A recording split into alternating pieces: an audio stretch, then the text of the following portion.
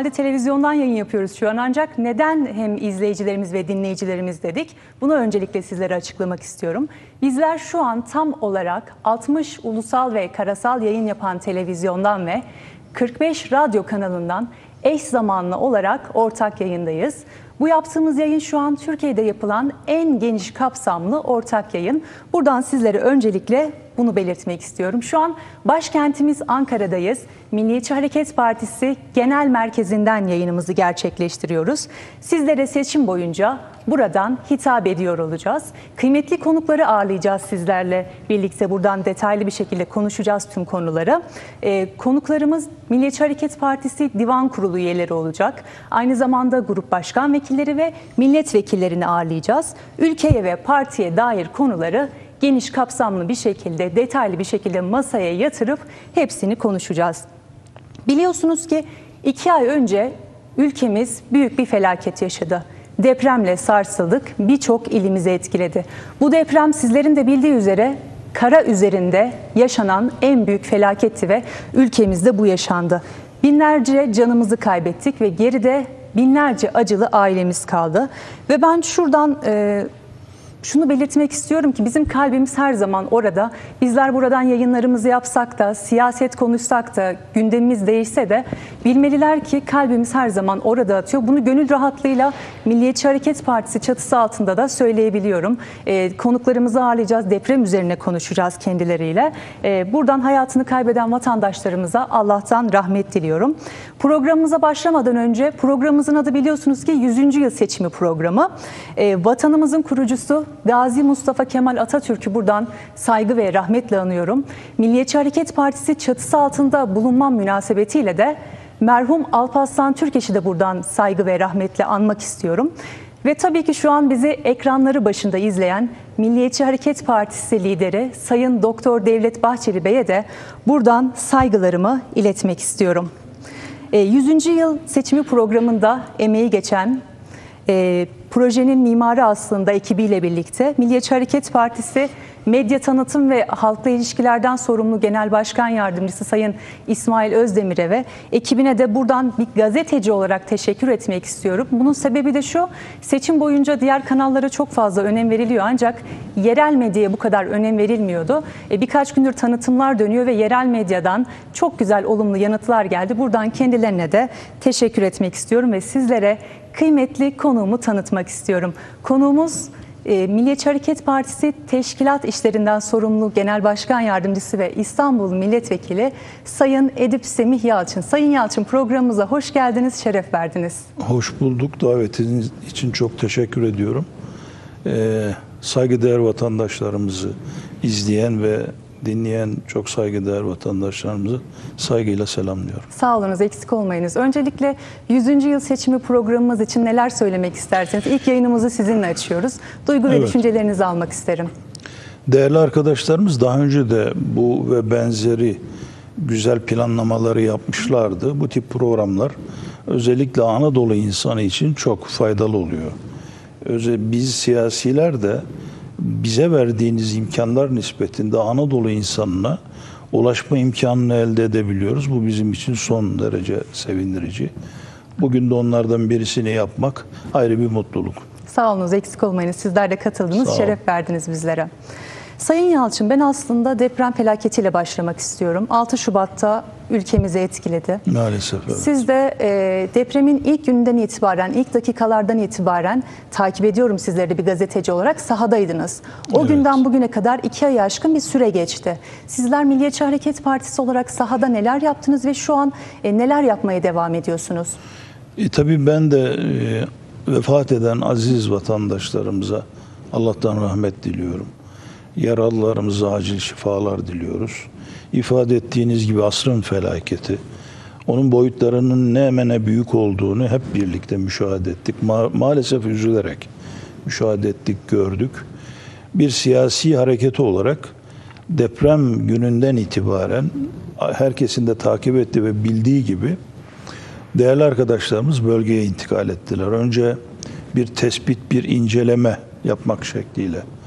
Hemen arkasından e, milletvekillerimizi biz görevlendirdik. Teşkilatlarımızı derhal harekete geçirdik. Milliyetçi Hareket Partisi il ve ilçe teşkilatların tümü adeta e, seferber oldular. E, bir de e, bizim e, müteyakkız bir e, değerli bir gücümüz var ülke ocakları.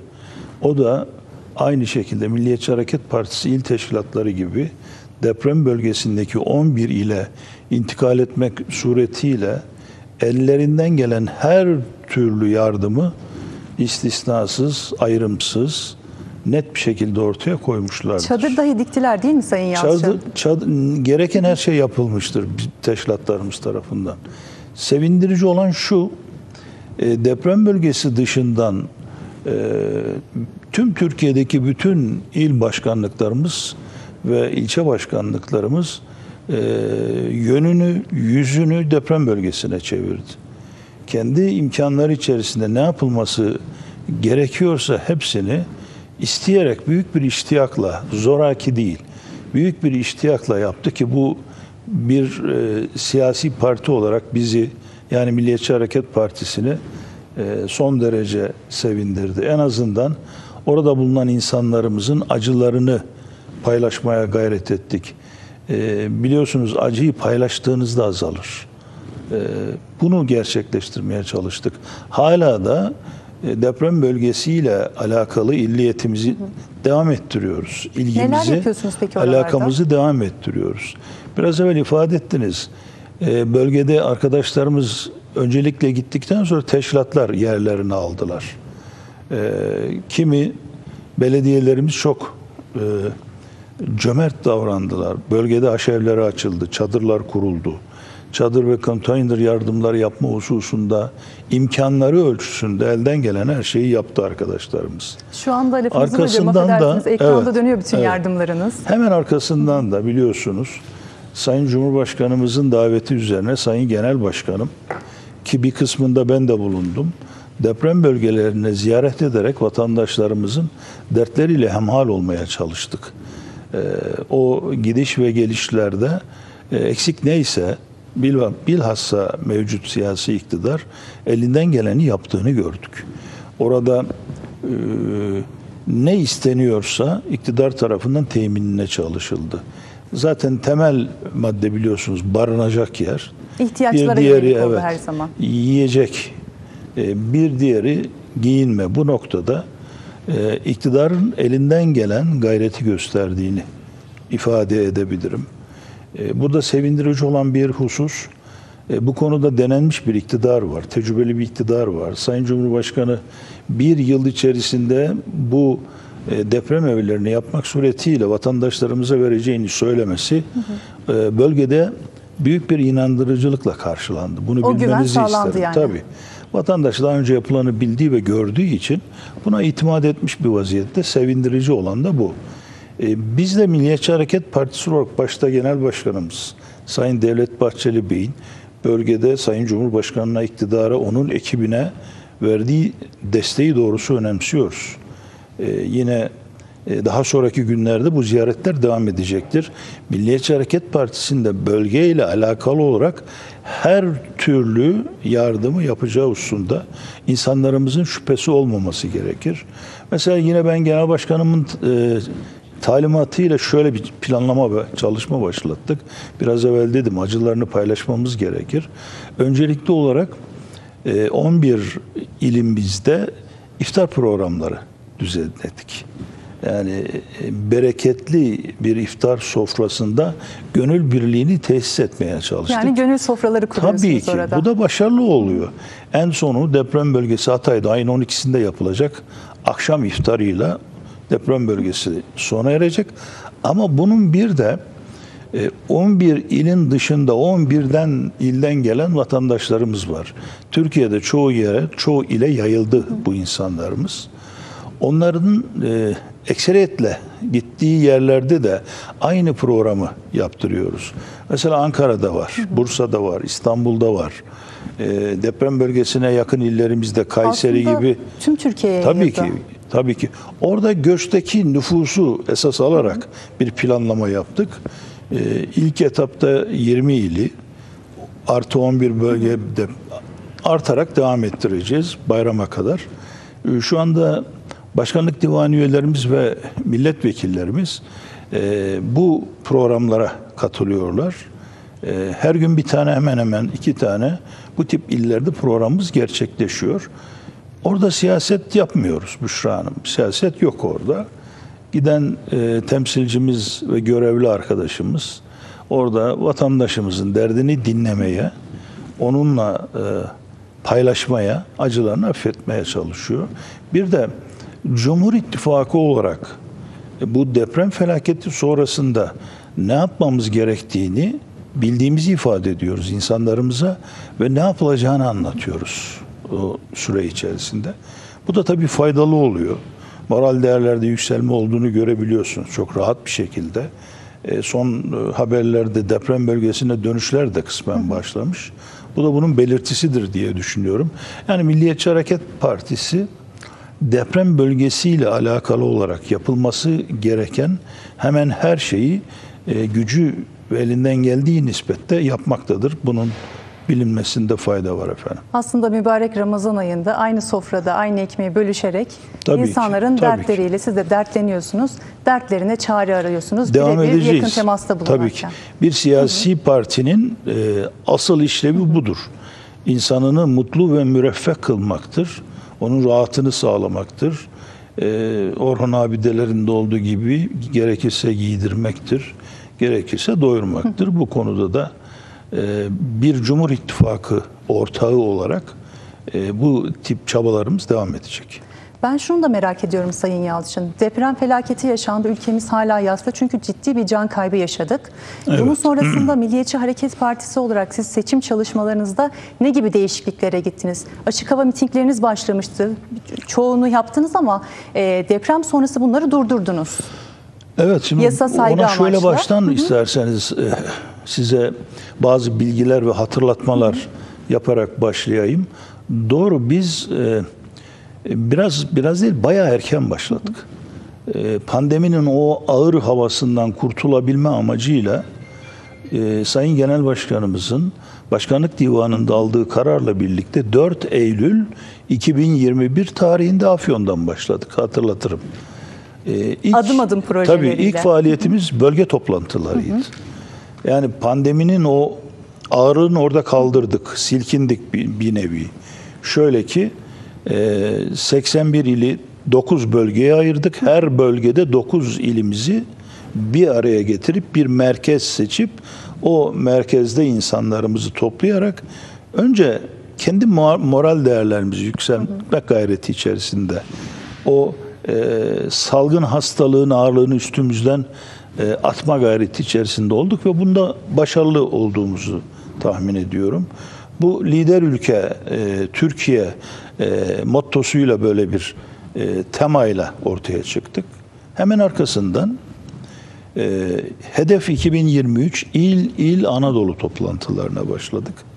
Bu toplantıların da bütün illeri tek tek gezerek, gezmekten kastım milletvekillerimizle, Merkez Disiplin Kurulu, Merkez Yönetim Kurulu üyelerimizle bunlardan bir ekip yapmak suretiyle il ziyaretlerine gittik. O bölgelerde şehirleri ziyaret eden değerli dava arkadaşlarımız ilin ticaret odasından tutunuz da sanayi odasına kadar, efendim e, muhtarlarına kadar, sivil toplum örgütlerine kadar hepsini ziyaret ettiler. Teşkilatlarımızı ziyaret ettiler ve pandemi sonrasında o yıl içerisinde vatandaşın derdini dinlemeye ve onu not almaya başladık biz. Yani Türkiye'nin dört bir yanını Tabii ki bütün iller gezildi. Ee, yani Türkiye'yi değerli arkadaşlarımızla birlikte e, 4 Eylül'den itibaren 3 defa gezdik desek ki şimdi devamını anlatacağım. Herhalde çok abartılı olmayacaktır. İl gezilerinden sonra e, Sayın Genel Başkanımızın e, ilçelere de ulaşmamız gerektiği e, talimatını alır almaz e, yine hedef 2023 ilçe ilçe anlatma ve aydınlatma toplantılarına geçtik. Büşra Hanım, Türkiye'de İçişleri kayıt İçişleri Bakanlığı'nın kayıtlarına göre 973 ilçemiz vardır. Merkez ilçeleri de saydığınızda Milliyetçi Hareket Partisi 966'ını ziyaret etti. Tabii. Değerli ciddi bir rakam. Yaz kış demeden 966'sını ziyaret ettik. Neredeyse Küçüğüne de gitti, yakın. büyüğüne de gitti. Tabii. Yani bu e, çok ciddi bir rakam. İnsanlarımız da yine burada e, bir araya gelerek dert dinledi, taleplerini aldı. Ne yapmamız gerektiğini onlara anlattık. Onlar da bize bir siyasi parti olarak ne yapmamız gerektiğini öğrettiler.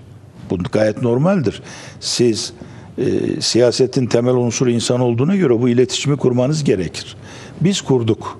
Yani bu anlamda gerçekten sahadaydık. E, sahada olmak gerekir yoksa seçimlerde milletin sinesinden çıkamazsınız. Bu bir zarurettir. E, tabii ki e, halkın en haklı isyanı her zaman sadece seçimden seçime mi geliyorsunuz olur Tabii ama ki. siz 2018 seçiminden sonra hemen başlamışsınız Değerli arkadaşlarımız onu söyleyen e, değerli vatandaşlarımız da olmuş zaten. Seçim yok henüz. Siz niye geldiniz diyenler de olmuş. Bu tip sorularla karşılaşmış arkadaşlarımız. Anlatacağım daha bitmedi. 8 başlık var bu faaliyet zinciri içerisinde. Hemen arkasından köyün benim programına geçtik. 693 köyü ilk etapta arkadaşlarla birlikte ziyaret ettik. Bu 51 ilde, büyük şehir olmayan 51 ilde gerçekleşti. Çünkü köy dediğinizde oralarda var. Büyük şehirlerde artık onlar mahalle oluyor biliyorsunuz. Hatta güzel de bir nostalji olması e, açısından her ilde bu programın hatırına, e, şehitlerimizin hatırına birer çeşme yaptırıldı.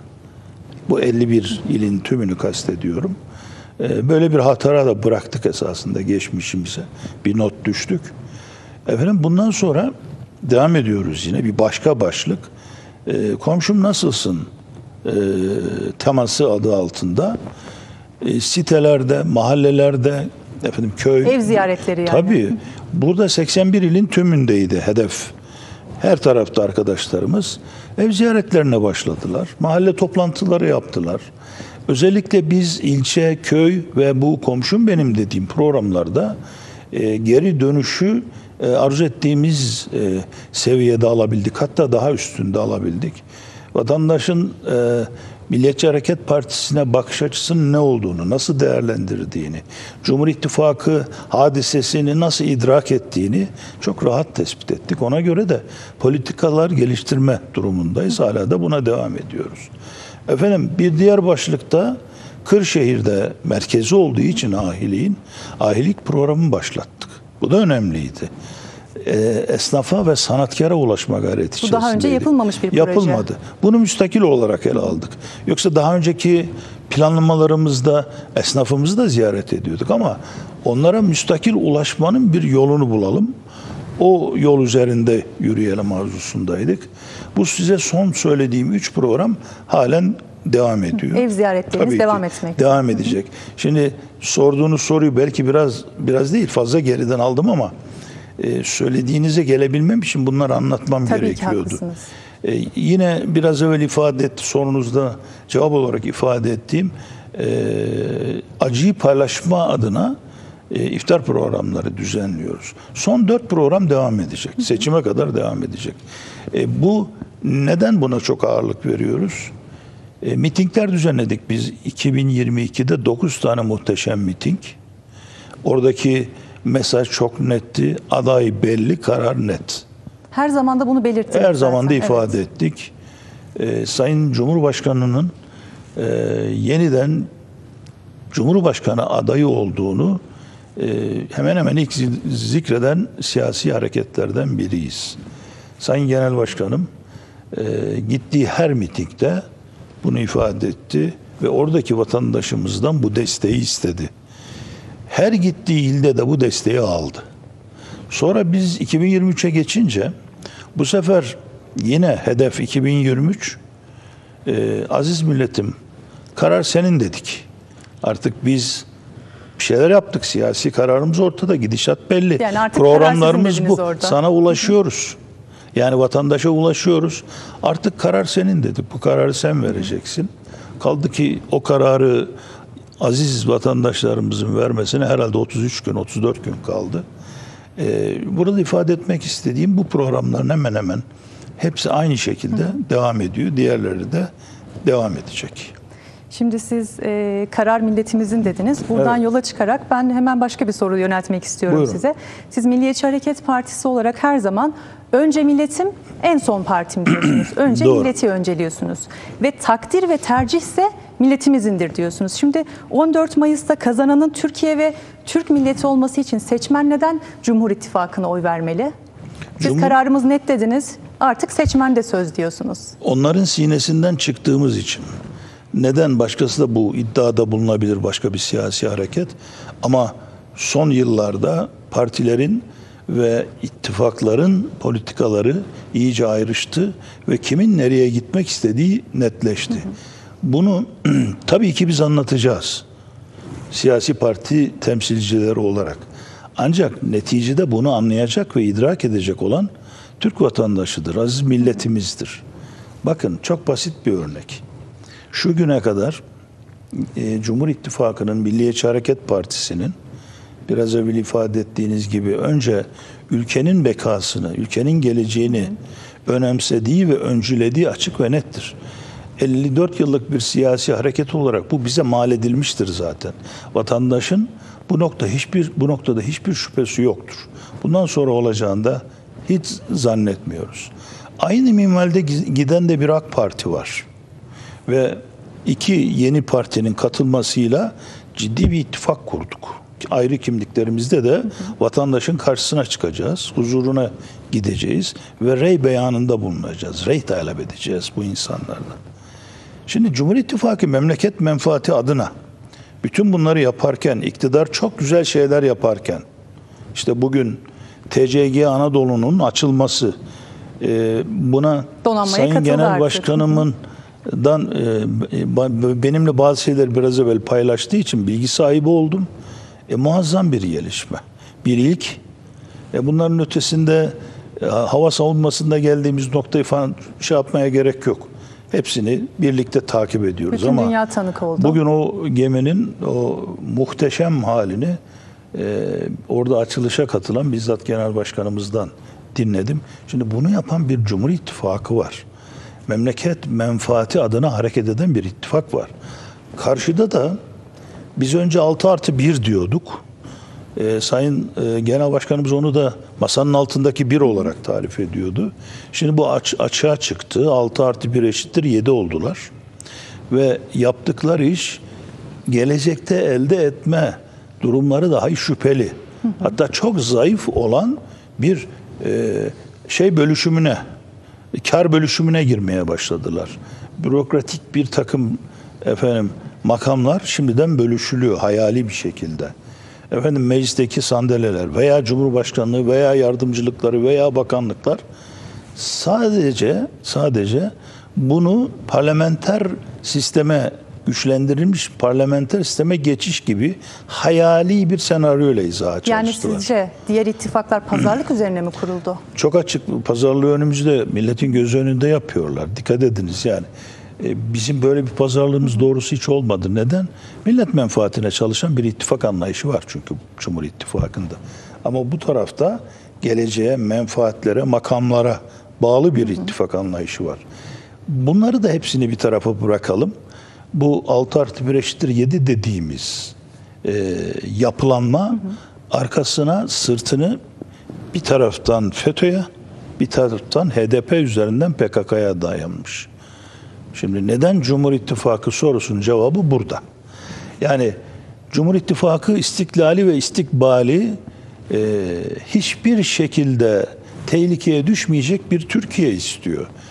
Türk asrı diyoruz. Sayın Cumhurbaşkanı da Türkiye yüzyılı dedi. Bu iki cümle esasında örtüşüyor. Aralarında hiçbir fark yok. Bu da güzel bir nokta. Dolayısıyla Cumhur İttifakı bunu e, öngörürken, planlarken bir e, stratejik hedef olarak ortaya koymuşken MHP de bu stratejik hedefin en aktif siyasi hareketi iken Cumhur İttifakı, Millet İttifakı'na baktığında onların gerçekten bizim ifademizde zillet olduğunu görürsünüz. Cumhur İttifakı'nın e, iş başına gelmesini yani düşünmek bile istemiyorum bir facia olur. Bu ülkenin bölünmesidir çok net söylüyorum. Bu bir panora e, şey değil, bir korku değil. Yani bir e, abartılmış bir husus değil, çok açık. Millet İttifakı bu haliyle Türkiye'yi yönetemez. Muktedir olamaz. İnsanımıza hizmet edemez. Geleceğin ve yeniliğin yolunu açamaz. Onun için yeni yüzyıl, yeni Türkiye diyor Sayın Devlet Bahçeli hatırlarsanız. Adeta sloganlaştırmış lafları. E bu yapı içerisinde Cumhur İttifakı'ndan başka bir yol, başka bir çare yok. 14 Mayıs'ta onun için bir kader anı. Yani eser ve hizmet siyaseti Cumhur Tabii ki. İttifakı ile devam Tabii edebilir ki. diyorsunuz. Hayır, yani şunu millet- sorarım size. Millet İttifakı veya zilletçiler bugüne kadar e, bir program olarak neyi ortaya sundular? Söyledikleri bir tek e, parlamenter, güçlendirilmiş parlamenter sistem. Buna geçmek bu saatten sonra mümkün değil. Ama Cumhur İttifakı ne yapıyor? Cumhurbaşkanlığı hükümet sistemini kuvvetli hale getirmeye çalışıyor. Bu sistemin bozulmaması lazım. Bu sistemi yaşatmalıyız. Varsa her dönemde olabilir küçük ufak tefek eksikleri bunu onarmalıyız. Onun yeri de Türkiye Büyük Millet Meclisi'dir zaten. E bugün bugüne kadar da yaptık. İşte son Cumhur İttifakı'nın ortaya koyduğu vatandaşın beklenti içerisinde olduğu isteklerin tümü gerçekleşti Büşra Hanım. Yani bizim programımızda da var 3600 ek göstergesi. 2018'de vaat ettik insanımıza. EYT. EYT'yi vaat ettik Evet, insanımıza. binlerce insan emekli oldu. Tabii efendim e, sözleşmelerin kadroya geçme mevzunu vaat ettik. Bizim programımızda da var. Şimdi de bu seçimin programını değerli arkadaşlarımız hazırlıyorlar. İnşallah ilk fırsatta o da e, kamuoyuna sunulacak ve halkımıza takdim edeceğiz. Şimdi Sayın Yalçın siz az önce e, Millet İttifakı kazanırsa tam bir facia olacak dediniz. Aslında Evet. korkutma değil dediniz. Hayır korkutma değil. Komple teorisi de değil. Evet, hı hı. Bu tamamıyla e, siyasi hayatımızda gördüğümüz bir tespit. Ortaya koyduğumuz bir gerçeklik. Zaten e, Millet İttifakı'nın Cumhurbaşkanı adayı Kılıçdaroğlu da şöyle bir söylemde bulundu. Kazandığı takdirde Selahattin Demirtaş'ı ve Kavala'yı ve içeride KYK'dan dolayı yani FETÖ'cülerin içeride yat, yattığından dolayı bunları çıkaracaklarını söyledi hapisten. Sadece Kılıçdaroğlu değil efendim. Haklısınız. E, FETÖ'cüleri, mağdurları, yurt dışındakileri, yurt içindekileri çıkaracak. Yurt dışındakileri de Getirecek getirecek. diyorsunuz. E, Demirtaş'ı servis bırakacağım diyor. E, bunu sadece şeyde söylemiyor. E, Kandil e, şu anda zilletçileri övüyor. Yani Kandil'deki o kara yılan vesaire o sürüngenler dikkat edin. MHP AK Parti iktidarını devirmeniz lazım diyor. Akıl veriyorlar. Kılıçdaroğlu desteklerini e, Zillet İttifakı'nı desteklerini açarak ve alenen söylüyor. Çekindikleri bir şey yok. Şimdi bunu aziz milletimiz görecektir. Şimdi bu yapı Türkiye'ye ne verebilir? Bir şey vermez. Alır. Yani böler. Buradaki endişe bu. Büyük endişe bu. Kaldı ki büyümekte olan bölgesinde bir Türkiye var. Bu bizim e, gerçek şeyimiz. Amacımız hatırlarsınız defalarca söyledik. Bölgemizde süper güç, küresel bir güç. Arkasından Kızıl Elma dediğimiz o ilahi kelimetullah dediğimiz hadise. Şimdi biz bunları söylerken aşama aşama yavaş yavaş Türkiye'nin geliştiğini, ilerlediğini görmek bize mutluluk veriyor. Bu uğurda da Milliyetçi Hareket Partisi elinden gelen her tedbiri alacak, elinden gelen her desteği de verecektir. Bundan hiç kimsenin şüphesi olmasın. Aslında siz bunlardan bahsetmişken ben de şuna değinmek istiyorum. Ben de yıllarca Türk diasporasında yurt dışında bir gazeteci olarak hizmet ettim. Buradan destek verdim mesleğimi yaparken. E, oradaki gazeteci arkadaşlarımızla konuştuğumuzda da Amerika Birleşik Devletleri'ndeki e, Türkiye karşıtı gruplar, Ermeniler, özellikle Anka'yı biliyorsunuz. Evet. Bunlar da FETÖ'cülerle birlikte olup e, aslında Millet İttifakı'na destek verdiklerini belirtiyorlar oradan. Doğru. Desteği de veriyorlar. Özellikle sosyal medya bu alanda çok çirkef bir hale geldi. Bunun sebebi de biraz önce ifade ettiğiniz gibi FETÖ'nün çok iyi e, bildiği bir mecra olmasından dolayı kaynaklanıyor. Yine PKK ve onun militanları da bu yol ve yordamı FETÖ'cülerle birlikte hareket ettikleri için öğrendiler.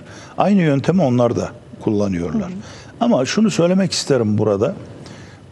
Çok da kötümser olmamak lazım. Doğru.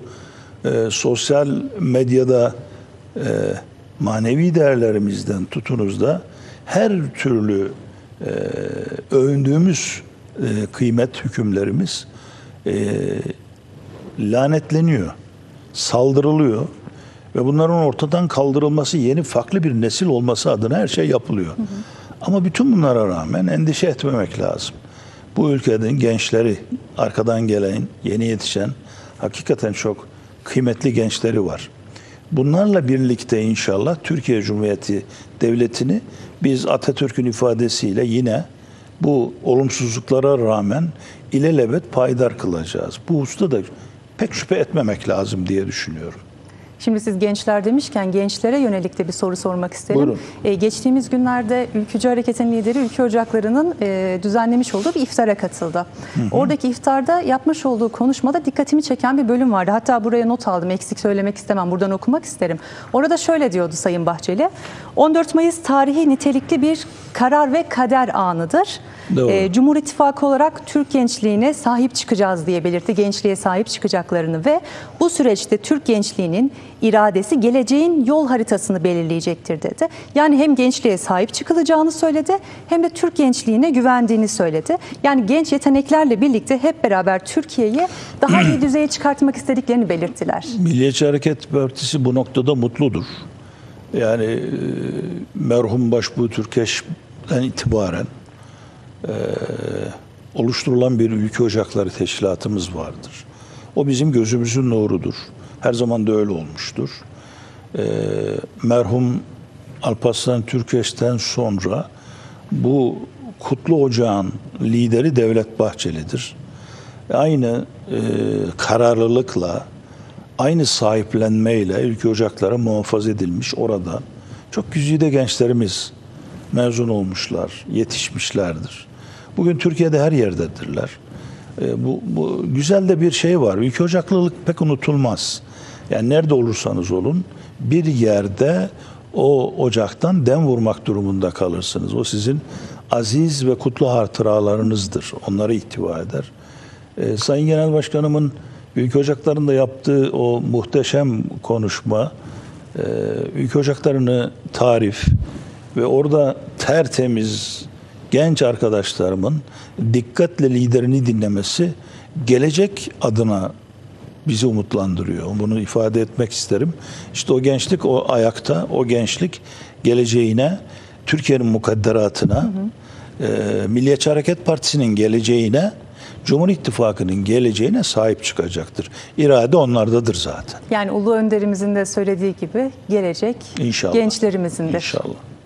Şimdi siz az önce e, Sayın Bahçeli'nin altılı masayı en başından beri yedili olarak tabir ettiğinden bahsettiniz. Evet ve dediği de çıktı dikkat Evet. ederseniz. Ben şunu da belirtmek istiyorum. HDP'li Hasip Kaplan sosyal medya üzerinden bir açıklama yaptı. Açıklamasında şunu söyledi. Bir oy Kemal Kılıçdaroğlu'na, bir oysa Yeşil Sol Parti paylaşımını yaptı. Şimdi e, HDP seçmeninden aslında Millet İttifakı için açık açık oy istedi. Doğru. HDP resmiyette Millet İttifakı içinde bulunmasa da HDP üyelerinin hepsi Millet İttifakı'na oy istemekte. Bunu nasıl değerlendiriyorsunuz? Büşra Hanım, e, HDP ve HDP'nin milletvekilleri e, mecliste etekli, kravatlı ve mazbatalı terörist uzantılarıdır. Bu nettir. HDP'nin PKK ile iltisakı açıktır. Şu anda biliyorsunuz kapatma davası görüşülüyor Anayasa Mahkemesi'nde. Hal böyleyken Hasip Kaplan ve benzeri isimlerin bunları bu şekliyle ifade etmesi gayet normaldir onlar açısından.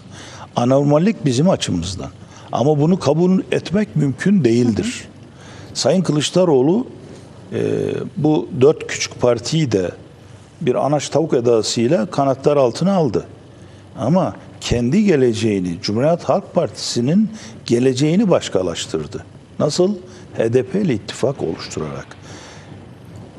Resmen onun listesinden yani Millet İttifakı'nın amblemli bir üyesi Yeşil Sol Partisi'de yok ama gerçekte açıklamalarına bakın.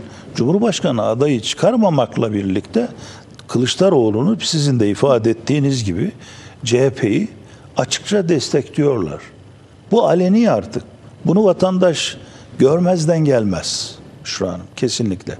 Ama burada bir soru sormak lazım. E, zamanı geldiğinde Türk milliyetçiliğinden e, bahsedenler veya mukaddesçalık mu- mukaddeslikten mukaddesatçılıktan bahseden o yanındaki dört küsurat partisine sormak lazım. Dolaylı olarak HDP ile ittifak halindeler. Yedi derken biz bunu kastediyoruz.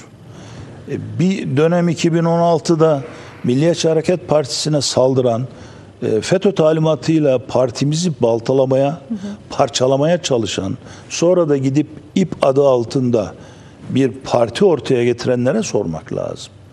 Selahattin Demirtaş'ı kahvaltıya çağıran ipin müderesine sormak lazım bunları. Nasıl içiniz alıyor da bu ülke geleceği adına terörist uzantılarıyla teröristlerle bir araya gelebiliyorsanız. Parti tabanına bunu nasıl anlatıyorlar peki? Anlatacakları kanaatinde Ya da değilim. sizin 14 parti tabanındakiler neler söylemek isterseniz? 14 Mayıs'ta hiç kanaat getirmiyorum. 14 Mayıs'ta zaten bunun cevabını e, karşısına çıkacağımız ve hakem olarak gördüğümüz millet verecek zaten. Dola- Dolayısıyla şansları yok. 14 Mayıs akşamı veya ertesi günü sabah hep birlikte tespit edeceğiz, göreceğiz. E, milletimiz en doğru kararı verecektir. Karar anı geldi. Biz de ne diyoruz? Artık sen de milletim sen söyleyeceksin diyoruz. O 14 Mayıs günü hiç endişeniz olmasın çok net bir şekilde ferasetini ortaya koyar ve Cumhur İttifakı'na hak ettiği değeri, Milliyetçi Hareket Partisi'ne hak ettiği değeri verir. Bizim hedefimiz sabit. Her dönemde söylüyoruz. Bunu söyleyeli de son iki yıl oldu zannediyorum. Ee, o stratejik hedef Cumhurbaşkanlığında Sayın Cumhurbaşkanı Recep Tayyip Erdoğan beyefendiyi açık ara seçtirmek. Birincisi bu. İkincisi ise Milliyetçi Hareket Partisi'ni Türkiye Büyük Millet Meclisi'nde Cumhur İttifakı'nın bir e, ortağı olarak, ittifakı olarak en genel başkanımın tabiri o anlamda çok güzel. En çoklaştırmak milletvekili sayısını. Yani şöyle düşünelim. Bunu yaptığınızda AK Parti ile birlikte Cumhur İttifakı da e, bir nitelikli çoğunluğu elde etme noktasında kuvvetli hale oluyor. geliyor. Onun içerisinde bizim payımızın da çok olmasını arzu ediyoruz. E, şu anda 48'iz. İnşallah vatandaştan istediğimiz bunu 148 yapalım. Mümkünse 248 yapalım. Kuvvetli bir 400'ün üzerinde bir Cumhur İttifakı'nı oluşturalım. Peki ülkücü hareketin liderinin parti tabanındaki her bir bireyden istediği bir oy oranı var Tabii 100 mı? oy istiyor hepimizden, tabandan da, sizden de, benden de hepimizden talep ediyor. Her bir onu, bireyden 100 onu oy. bulmak gibi bir mecburiyetimiz var, zorunluluğumuz var. Zaten e, şunu ifade etmek isterim. Bulduğumuz takdirde biraz evvel söylediğim rakamlar hayal olmaktan çıkacaktır. Evet. Sayın Yalçın programın son 12-13 dakikasına girdik. Size sormak istediğim birçok konu var. Buyurun. Ee, ama az önceki değindiğiniz Yeşil Sol Parti'den devam etmek istiyorum. Kısaca o yanıtı da alabilirsem. Şimdi HDP HDP kapatma davası devam ediyor Evet, kendilerince bir tedbir aldılar. Evet. HDP'nin kapatma davasında e, olur ki olumsuz bir netice e, çıkarsa benim terörist uzantısı, terörist diye tarif ettiklerimin tümü e, bir hulle partisi oluşturdular. Oradan aday Olmadıklarını oldular. iddia etmelerine rağmen neden başka bir parti çatı alt- altından meclise girmeye çalışıyorlar? Olduklarını efendim sizden bizden iyi biliyorlar. Hiçbir endişeniz olmasın. Peki HDP'nin Ee, aldığı yardım var. Bu ne olacak? Onu, onu da Anayasa Mahkemesi'nin çok değerli hakimlerine sormak lazım. İleride zannediyorum bunlar sorgulanır. Yani bu para ne olacak? Bir HDP taraftan- partisi altında seçime girmiyor ancak başka parti çatısı altından seçime giriyor. Aldığı bir 360 milyon nerede kullanılacak? Mutlak surette yine dağda kullanılacak diye düşünüyorum. Onun bir yolunu bulurlar mutlaka. Bu şekilde. Peki Türkiye'nin 100. yılındayız dedik. 100. yılında bir seçim yapılacak. Milliyetçi Hareket Partisi için bu seçimin önemi nedir? Burada sizin ufkunuz nedir? Geleceği kazanmak, yaşamak noktasında insanlarımızın bizim çok eskiden çok güzel bir sloganımız vardı. Mutlu ve müreffeh bir Türkiye derdik. Ee, bu noktada aynı şeyleri şu- bugün de söyleyebiliyor çok rahat bir şekilde. Yani istiklali ve istikbali kendinden emin bir Türkiye'yi inşa etmek. Bu değişimi yakalamak. Aa, Bu değişim yakalanıyor. Bu değişim noktasında Türkiye Cumhuriyeti Devleti'nin çok muazzam bir gelişmesi var. Bakınız yani şu en son savunma araçlarındaki gelişmeye bakınız. İşte bugün gemiden bahsettik sizden. Anadolu gemisinden bahsettik. Yani e, daha önce yapılmış köprülerden bahsettik. Yani bütün bunları düşünüldüğünde gelişen bir Türkiye var, büyüyen bir Türkiye var. Bölgesinde güç olan, süper güç olan maya yönelmiş bir Türkiye var. Dış politikası doğru giden bir Türkiye var. Bunun devamını sağlamak istiyoruz. Bunun devamını tesis ettiğinizde, bu şartları seçim sonrasında da oluşturduğunuzda e, Türkiye Cumhuriyeti Devleti'nin geleceğinden emin olacaksınız. Bizim arzu ettiğimiz ve istediğimiz bu. İşte bu bizim biraz evvel sizin söylediğiniz önce Türkiye'm dediğiniz hususa götürür. Önce biz bunu sağlayalım. Gerisi ondan sonra gelecektir mutlaka. Sayın Yalçın, geçen haftadan bu yana konuşulan bir konu var. Evet. Ee, İyi Parti binasının, İstanbul İl binasının kurşulandığı Evet. iddiası ve e, İyi Parti liderinin de Türkiye Büyük Millet Meclisi çatısı altında kürsüden mermileri fırlatması. Ee, daha önce de biliyorsunuz ki e, ittifak sürecinde masadan kalkıp geri gelmişti. Siz bu tutumları nasıl değerlendiriyorsunuz? Tasvibimiz mümkün değil. Tasvip edemeyiz. Neden edemeyiz? Bakın e, orası Türkiye Büyük Millet Meclisi. Orasının 103 yıllık bir tarihi var.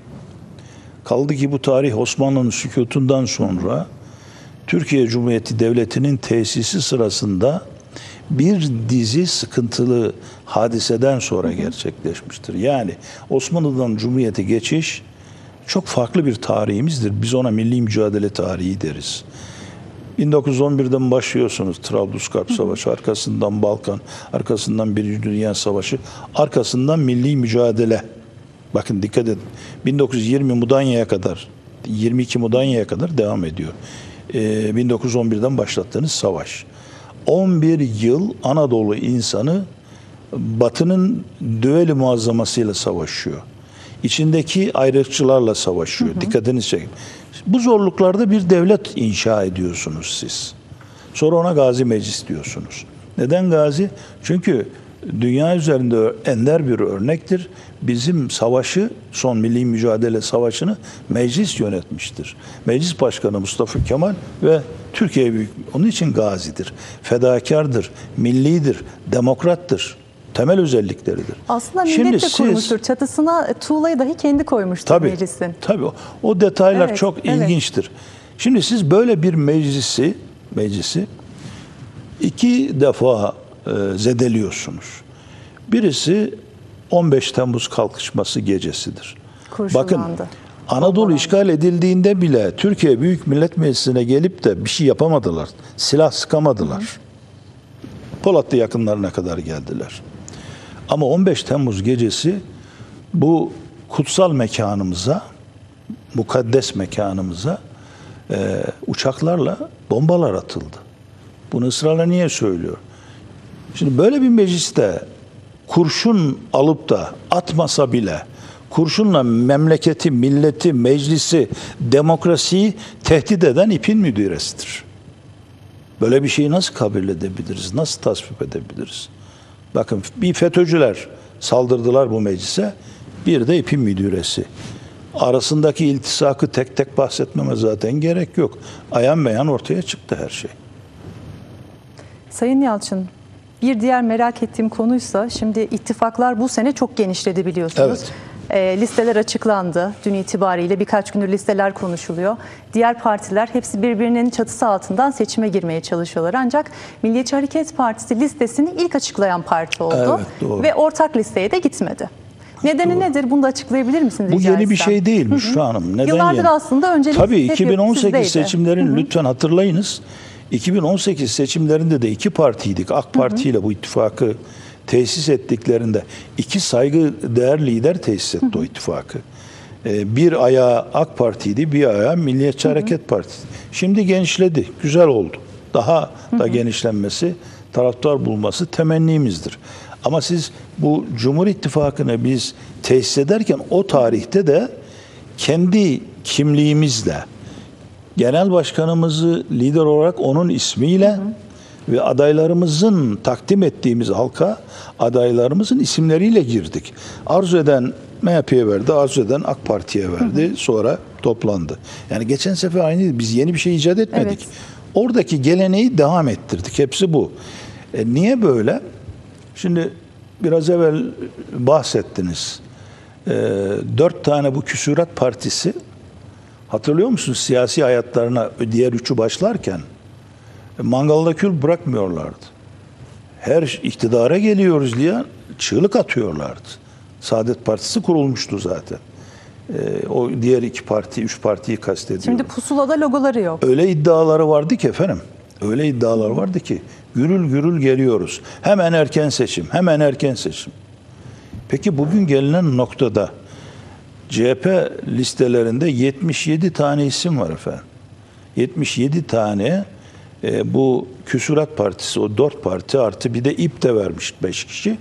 Bunlardan oluşan bir CHP listesi oldu. Deva da birinci sırada gözüküyor. Tabii CHP de başkalaştı.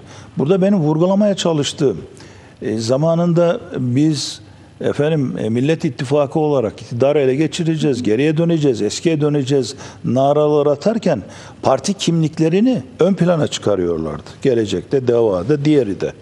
Ama şimdi bir anaç tavuk gibi civcivler gibi şeyin kanatlarının altına girdiler Sayın Kılıçdaroğlu'nu. Dolayısıyla bunu tasvip etmek doğru değil.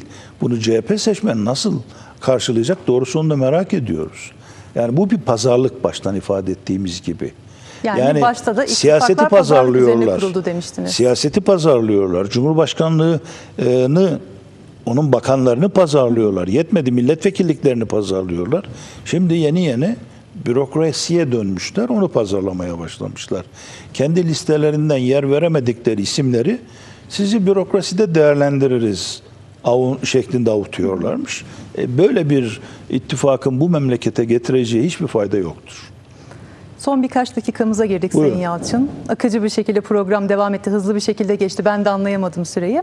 E, şimdi Milliyetçi Hareket Partisi'nin Cumhuriyet'in 100. yılında 100 maddelik bir anayasa teklifi Evet, var. evet. Kısaca sizden bunu dinleyebilir miyiz? Tabii ki çok mükemmel bir anayasa teklifimiz var, iddia ediyoruz. Çok değerli ilim insanlarının hazırlamış olduğu, partimizde e, siyaset arkadaşlarımın yine bu hazırlığa katkı verdiği çok mükemmel bir anayasa taslağımız var. Sayın Cumhurbaşkanı'na biz bunu çok önce verdik. Tabii ki Cumhur İttifakı'nın e, bünyesinde bir anayasa taslağı çıkması lazım.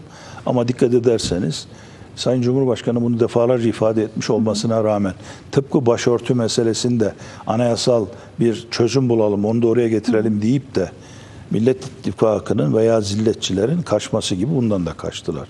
İnşallah bu yeni dönemde olacak.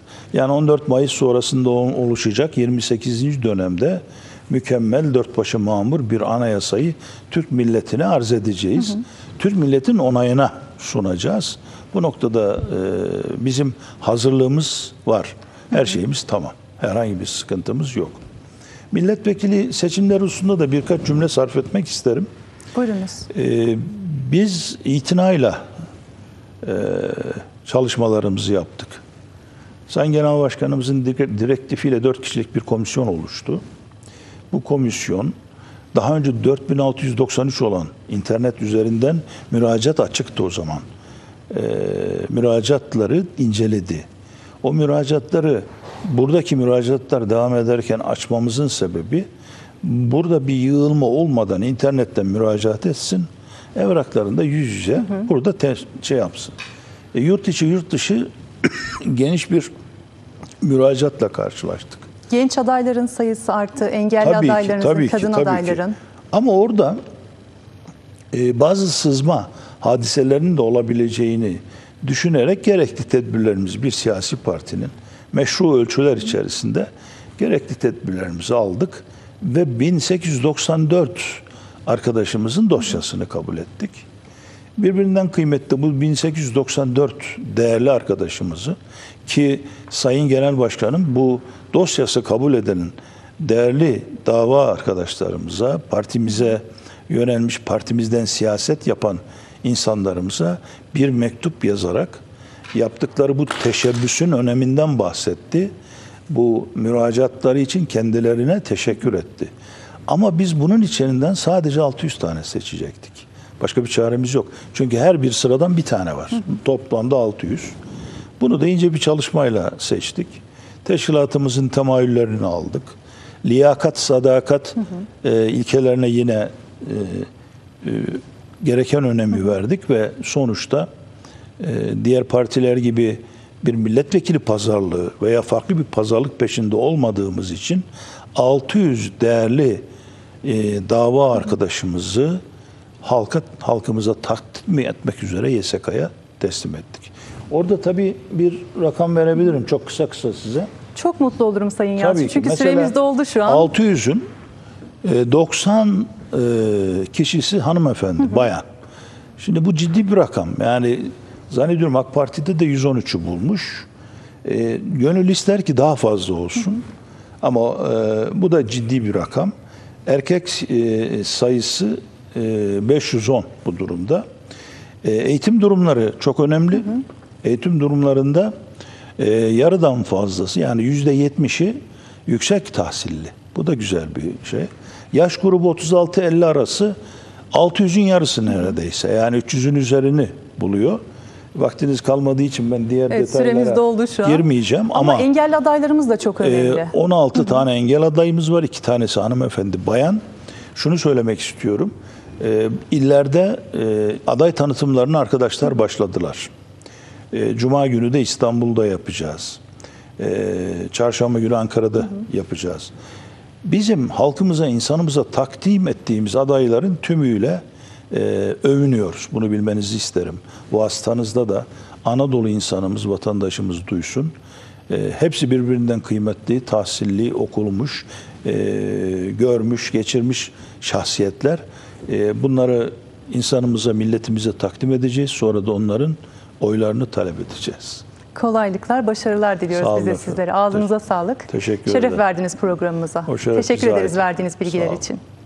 Değerli izleyicilerimiz ve değerli dinleyicilerimiz, 100. yıl seçimi programımızın ilk bölümümüzün sonuna geldik. Ee, bizler seçim boyunca buradan canlı yayınlarla devam edeceğiz Milliyetçi Hareket Partisi Genel Merkezi'nden. Önümüzdeki günlerde ilk programımızın duyurusunu tekrar sizlerle paylaşacağız. Bizleri ilk programımızda yalnız bırakmadığınız için buradan sizlere teşekkürlerimizi sunuyoruz. İyi akşamlar diliyorum.